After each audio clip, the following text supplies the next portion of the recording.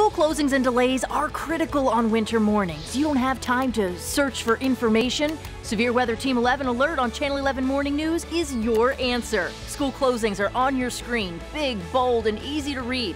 11 Alert on Channel 11 Morning News, we keep you up to date.